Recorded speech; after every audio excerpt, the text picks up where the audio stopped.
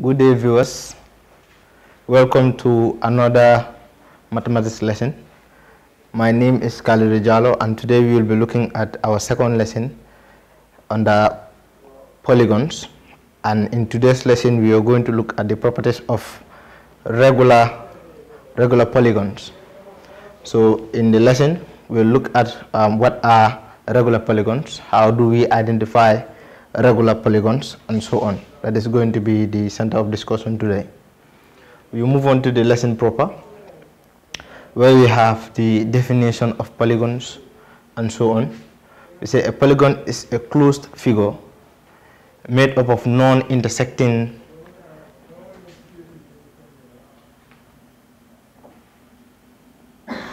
made up of um, non-intersecting line segments called sides. Each side is connected to the other sides at endpoints and no two um, no two adjacent sides are collinear. No two adjacent sides are collinear. So I would like to explain that. That is what is a polygon. Like a polygon is a plane figure um, with straight line, made up of straight lines. That are line segments. And it is a closed figure. The figure has to be closed. That is all the endpoints of the line segments need to meet. And we've also seen in the definition saying non-intersecting line segments, non-intersecting line segments. Like for instance, when I have a shape like this, this cannot be called a polygon. Although it has many sides, but it cannot be called polygon for the fact that there are lines that intersect here. So it is not a polygon. In order for it to be a polygon, all the line segments in the polygon need to, no matter the shape of it, they don't have to intersect. If you look at this polygon here, it has one, two, three, four, five, six, seven sides. So it is a polygon. So here we have another one which is one, two, three, four, five sides. It is also a polygon. But once the lines intersect, there it is not a it is not a polygon. Again, we look at the information that is given to us. It says the definition ensures the following properties. The definition of a polygon ensures um, the following properties. Again, looking at the definition, it says, and no two adjacent sides are collinear. Let me explain that before we move on. No two adjacent sides are collinear. Like for instance, if you look at this polygon that we have here, looking at the one that we have here, we've counted the number of sides that it has. And we say it has one, two, three, four, five sides. Now, no two sides are collinear simply means that, let's say, the sides that start from here, this is to here. This, they, end, they, they all met here. So they are not collinear in the sense that they are all not on, the, on a straight path. Like we cannot have it like this. And then we have this and that and that. Uh, if we assume that these two sides meet here, that is, this is going to give us one side, two sides, three sides, four sides, and five sides, assuming it to be this. This will not be uh, will not be a polygon because these two sides supposed not to be collinear. So they will meet at some point, but not on a straight pattern. That is what we mean by um, that is what we mean by and no two adjacent sides are collinear. Then we move on. The definition ensures the following properties. That is the definition of polygons ensures the following properties. A polygon encloses a region called its interior that always has a measurable area. That is when we have a polygon, it needs to be an enclosed an enclosed area, an enclosed region that is measurable.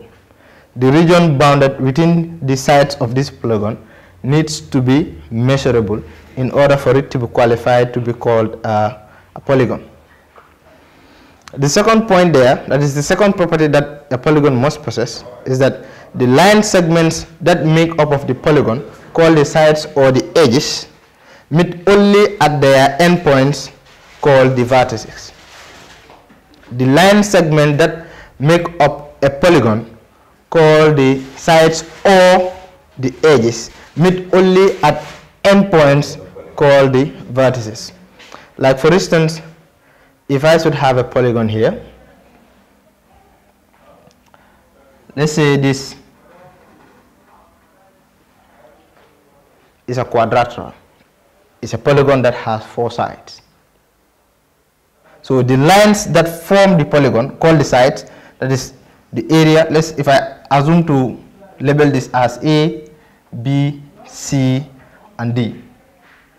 If you look at the line that runs from point A to point B, meet with the line that runs from point from point A to point D rather, meets with the line that runs from point A to point D at a point called the, the vertices. They meet at their endpoints called the vertices. Like we cannot have it this way. We cannot have it this way and call it a polygon. The line, if you are considering this to be a polygon, it means it has to stop here. So that all the lines meet their endpoints, meet at their endpoints to be referred to as a polygon. I hope we all take that into consideration.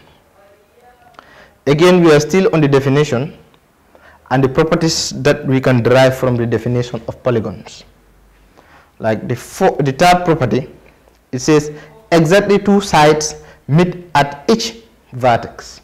Exactly two sides meet at each vertex. For the fact that polygons are plane shapes, for the fact that polygons are plane shapes, the sides only two sides meet to form a vertex. Two sides meet to form a vertex. You cannot have more than two sides meeting, like here if we assume this to be a polygon, we cannot have this. Now, three sides meeting here means that it is a three-dimensional shape.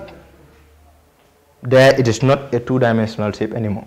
And polygons are known to be two-dimensional shapes. So exactly two sides meet at a point to form a vertex. Whether it has three sides or four sides or five sides or six sides, but they will have to meet at one point in order for them to be qualified to be called um, vertex. Only two of them need to be need to meet in order for them to be referred to as the vertex.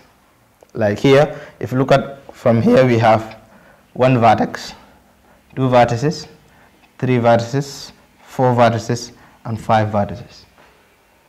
They all meet at a point, and that point is called a vertex. So looking at the shape that we have here, it has five vertices.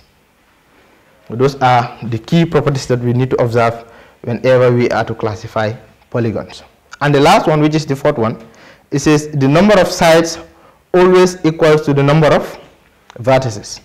The number of sides always equals to the number of vertices. Now, no matter how the polygon is given to you, or no matter how you draw the polygon, the number of sides that the polygon have is always equal to the number of vertices that that particular polygon will have. Like for instance, let's look at a polygon that has three sides. If you look at this polygon, it has three sides. You have one, two, and three. There are three sides.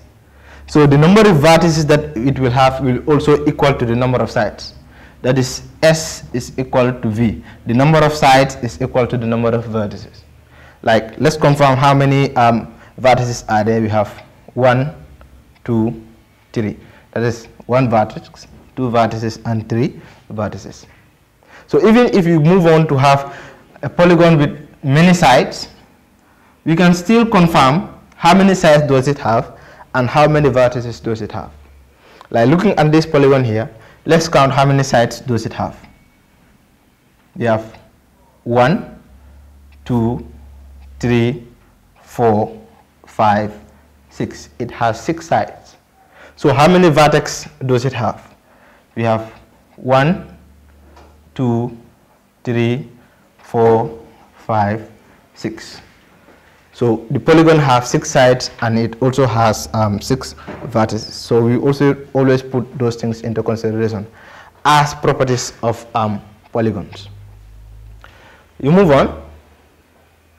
Remember our topic of discussion today is um, regular polygons. We just discussed polygons in general. We will look at um, regular polygons later. Now, polygons are named by the number of um, sides, by their number of sides. Polygons are named by their number of sides. Now, if you want to name a polygon, it greatly depends on the number of sides that the polygon has. The number of sides that the polygon if you want to name a polygon, it highly depends on the number of sides that the polygon has. Like for instance, a triangle, the number of sides that the triangle has, a quadrilateral, the number of um, um, sides that a quadrilateral have, like pentagon, hexagon, heptagon, octagon, nonagon, and decagon. So they are all named based on the number of um, sides that they have. Like for instance, a triangle, we know that they all have three sides. So when a polygon has three sides, it is referred to as a triangle. And when a polygon has, for instance, five sides, it is referred to as a pentagon. When a polygon has five sides, it is referred to as a pentagon. When a polygon has eight sides, it is referred to as an octagon. When a polygon has eight sides, it is referred to as an octagon. When a polygon has 10 sides, it is referred to as a decagon. When a polygon has 10 sides, it is referred to as a decagon. When it has 6 sides, it is referred to as an hexagon. When it, is, when it has 6 sides, it is referred to as a heptagon. When it has 7 sides, it is referred to as a heptagon. It is referred to as a heptagon. When it has 4 sides, it is referred to as a quadrilateral. When it has four sides, it is referred to as a quadrilateral. And of course, when it has nine sides, it is referred to as a nonagon. When it has nine sides, it is referred to as a nonagon. So polygons are basically named based on the number of sides that they have. You move to um, equilateral polygons. Equilateral polygons. Um, we are going to bring in all these definitions so that we can prepare ourselves to the regular polygons, which is the main topic of discussion today. But we look at equilateral polygons. What are equilateral polygons? An equilateral polygon is a polygon with all its sides equal. An equilateral polygon is a polygon with all its sides equal. Whenever you have a polygon and all the sides are equal, that particular polygon is referred to as an equilateral polygon. Like if you look at the shape that we are given here, we are given a polygon that has four sides and it is labeled A, B, C and D. Now what is indicated on the polygon here, it simply means that line AB is equal to line BC which is also equal to line CD and back it is equal to line ED which, we, what, uh, which is what we have here. The quadrilateral ABCD is equilateral and the quadrilateral ABC is equilateral if and only if AB is equal to BC which is also equal to CD and which is also equal to AD. So this quadrilateral here is only, this polygon here is only referred to as a, a um, an equilateral polygon if and only if all the lines are, are equal. Like for instance, when we have the case of maybe a maybe an equilateral triangle where we know that all the sides are all the sides are equal. So an equilateral triangle also will be classified as an equilateral polygon because all the sides are, are equal. From equilateral polygons, we move to equiangular polygons. Like equilateral polygons, we say equilateral polygons are polygons that have all their sides equal. When we come to equiangular polygons now, it, they are polygons that have all their angles congruent or equal. They have all their angles congruent or equal. Here we have an equiangular polygon. It's a polygon with all its all angles um, congruent. All angle congruent mean simply all the angles are equal. That is all the angles are equal.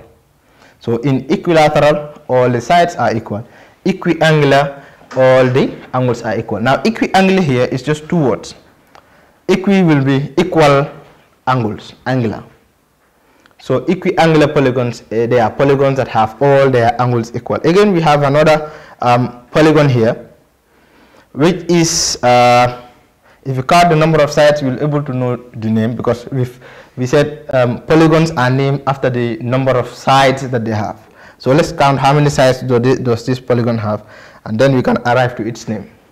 You have one, two, three, four, 5, 6. This polygon has 6 sides. And polygons that have 6 sides are referred to as hexagon. Polygons that have 6 sides are referred to as hexagon. Well, it is here if I give it to. It says the hexagon A, B, C, D, E, F is equiangular if and only if angle A is equal to angle B, which is equal to angle C, equal to angle D, equal to angle E, and equal to angle F. Looking at the polygon, it is labeled A, B, C, D, E, and F. Now, wherever the two lines meet, uh, forming a vertex is what we refer to as an angle. When two lines meet, they form an angle. So, this polygon here is only equiangular if all the vertex on the polygon are equal. That is, all the angles that are formed in this polygon are equal. That is to say, if angle A is equal to angle B, which is also equal to angle C, which is also equal to angle D, which is also equal to angle E, and which is also equal to angle F. That is, all the six angles are equal. That is the time it is qualified to be called an equiangular polygon. Remember, our target is to arrive at regular polygons. Our target is to arrive at regular polygons. At, it seems we are almost there. Regular polygons. Now, what are regular polygons? Remember, we've talked about equilateral polygons, we've talked about equiangular polygons. We said equilateral polygons are polygons that have all their sides equal. And equiangular polygons are polygons that um, have their all, all their angles equal. Now, what are regular polygons now? A regular polygon is both equilateral and equiangular. A regular polygon is both equilateral and equiangular. Now what does that mean? For a polygon to be referred to as a regular polygon, it has to be equilateral in the sense that all its sides have to be equal. And it also has to be equiangular in the sense that all its angles have to be equal. That is what we refer to as a regular polygon. I repeat that. In order for a polygon to be referred to as a regular polygon, it has to be equilateral and equiangular. It has to be equilateral in the sense that all the sides of the polygon have to be equal and it has to be equiangular in the sense that all its angles have to be equal. That is what we refer to as a regular polygon. And here we have um, some examples. If you look at this um, triangle, it says an equilateral triangle is an equi is equiangular and regular. It's equiangular and regular. Well, we know equilateral triangles have all their um, sides equal and all their angles equal. So it is a very good example of um, regular polygons. From there we have a square. You know that squares are four-sided figures that have all their sides equal and all their angles equal. So having all their sides equal means they are equilateral and having all their angles equal means they are equiangular and that qualifies them to be called to be called regular polygons. Then we move on.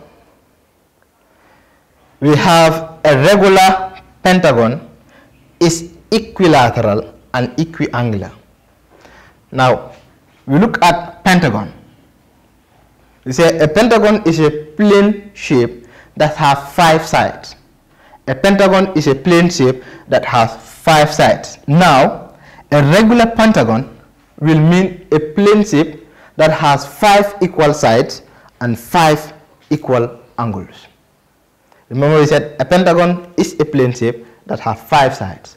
But now a regular pentagon will now be a polygon that has five equal sides and five equal angles. That is what we mean by it is equilateral and equiangular. Equilateral means that all the sides are equal and equiangular means all the angles are equal. So a regular polygon is also a, regular pentagon rather is also referred to as a regular polygon because all the sides are equal and all the angles are, are equal. Then we look at the last one. We have a regular hexagon is equilateral and equiangular. We look at hexagon first. Remember when we when we are talking about the names of um, polygons, we said their names are dictated by the number of um, sides that they have. So hexagon will mean that that particular um, polygon has six sides. The polygon has six sides. Hexagons are plane shapes, they are polygons that have six sides. Now here is the image. We can count how many sides it has. We have one, two, three, four, five, six. It has six sides. Now a regular hexagon will now mean what? It will mean that it is a polygon that have six equal sides and six equal angles. A polygon that have six equal sides and six equal angles. That is why we say it is equilateral, that is all the sides are equal, and also it is equiangular, that's, that is to say all the angles are equal. That goes to all the other polygons. Once they are regular, it means they have equal sides and equal angles. Going to a hexagon, going to the heptagon, going to the octagon, going to the um, nonagon, the decagon, the eleven gon, and so on. They are all, um, they can only be referred to as regular polygons when they are equilateral and equiangular. That is to say, they have equal sides and equal angles. That is how we classify regular polygons. Then we move on to some of the exercises. We have how many sides does a heptagon have? How many sides does a heptagon have? Now first, what is a heptagon? We've talked about heptagons earlier. What are heptagons? Remember we said polygons are named after the number of um, sides they have. So a heptagon is a polygon or a plane shape. In fact, they are all the same. It is a polygon that has seven sides. A heptagon is a polygon that has seven sides. So here, the options that are given to us are lettered from A to D. The first one says five, uh, uh, five that is option A says 5. B we have 6, C we have 7, and D we have, D we have 8. A polygon that have um, 5 sides is called a pentagon. A polygon that have 5 sides is called a pentagon. A polygon that have 6 sides is called a hexagon. A polygon that have 6 sides is called a hexagon. A polygon that have 7 sides is called a heptagon. And the polygon that have 8 sides is called an octagon. So the correct option here is going to be C. That is a polygon that has 7 sides is called a heptagon. Then we move to the second one. It says, how many angles does a nonagon have? How many angles does a nonagon have? Now what is a nonagon? A nonagon is a polygon that has nine sides. A nonagon is a polygon that have nine sides. Now remember we said the number of sides that a polygon have is equal to the number of angles that the polygon have. The number of sides that a polygon have is equal to the number of um, angles that the polygon have. So in that case, uh, we, we can say that since a nonagon have nine sides, then also it means it has, um, it has nine angles. So A says 6, which is going to be uh, the hexagon. B says 7, which is the heptagon. C says 8, which is the octagon. And this is 9, which is the nonagon. So nonagons, they have 9 angles. Nonagons have 9 angles. You move on to the third question. And it reads, what is the name of the figure, of this figure? What is the name of this figure? What is the name of this figure. Now let's look at the figure before we talk about its name. Remember we said polygons are dictated by the number of sides that they have. The name of the polygon is dictated by the number of sides that they have. So if you want to come up with the name of this polygon, first we have to um, find out what is the uh, what is the number of sides that the polygon has. Uh, let's count that. We have one, two, three, four, five, six, seven, 8. This polygon have 8 sides. The polygon have 8 sides. And how do you call a polygon that has 8 sides? The options that are given to us are lettered A to D. The first option is quadrilateral. The second option is hexagon. The third option is decagon. And the last option is octagon. Now, quadrilaterals are polygons that have four sides, and the one that we have has eight sides heptagon, hexagon rather, there are polygons that have six sides. The one that we have has eight sides, so it's not the correct option. A decagon, a decagon is a polygon that has 10 sides and the polygon that we have here have eight sides, so that one is not the correct answer. And the last one is octagon. It is a polygon that has eight sides and of course the one that we have is a polygon that with eight sides. So the correct option here is going to be option D. That is the name of the given um, figure is an uh, is an octagon. Then we move to our fourth question, which is what kind of polygon is this? What kind of polygon is this? The options are regular, B says irregular, C says not a polygon. Now let's look at the polygon and find out what, um, what kind of polygon it is. Remember we've talked about regular polygons, we've talked about equiangular polygons, We've talked about um, equilateral polygons.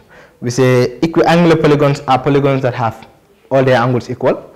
We say um, equilateral um, polygon is a polygon that have all their sides equal. And we said regular polygons are polygons that have all their angles and all their sides equal. Now let's look at this polygon and examine. Having these marks here simply tells us that all their, these marks simply tells us that all the sides are equal. So how many sides do we have? We have one, two, three, four, five, six. We have six sides. We have six sides. And all the sides are equal. So we have six equal sides. So it means it is, it is what? Equilateral. All the sides are equal means it is equilateral. Now, how about the angles? Since the sides are equal, it means the angles are also equal. So how many angles does it have? You have one, two, three, four, five, six angles. So it also have six, six angles.